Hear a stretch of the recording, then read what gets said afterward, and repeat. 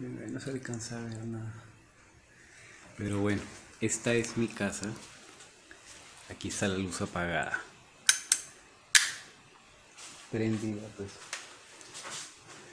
No se alcanza a visualizar la parte oscura. Lo que quería hablar en esta ocasión era sobre la influencia de las películas de terror. Mm. Lo que me parece sorprendente es que yo ya estoy un viejo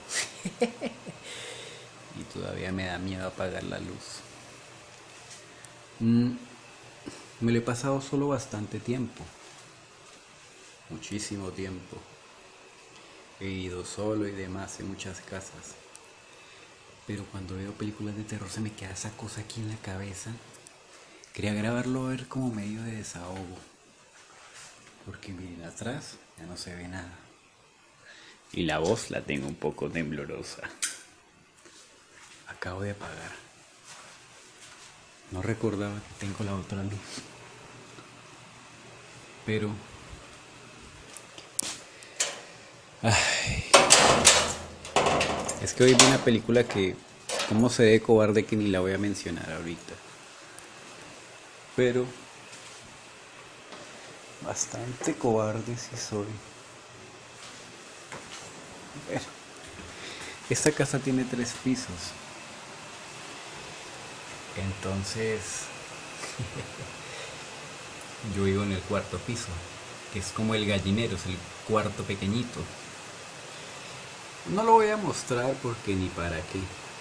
Hay utilidades los bienes materiales que no quiero mostrarlos que ni para qué, para que hagan comparativas. Soy humilde más bien, digámoslo. Mm. Pero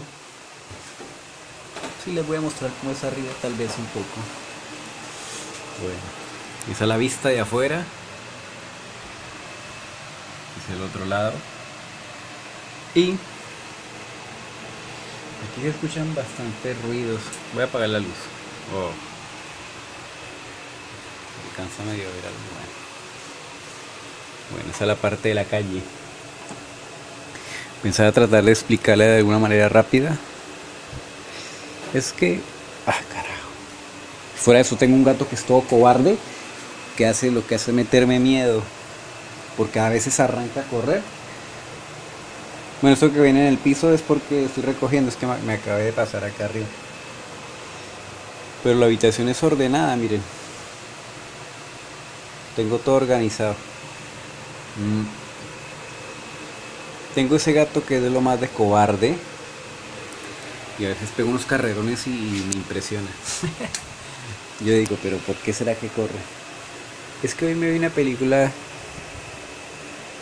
que se llama, lo voy a decir rápido, se llama Anabel. Y me impresionó un poco. Por eso estoy con la cuestión esta como medio temerosillo esta noche. ¿Cómo será que hace poquito vi también la película de It, de eso? Pero la original, la de 1900. Ah. Imagínense uno tan viejo para estar en esas bobadas. Esa la calle.